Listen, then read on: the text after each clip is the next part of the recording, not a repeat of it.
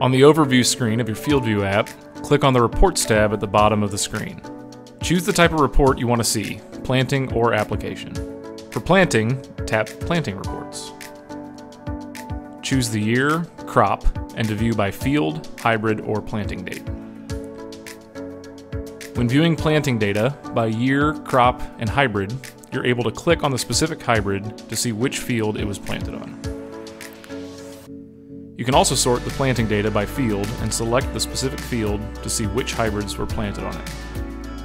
For applications, tap Application Reports.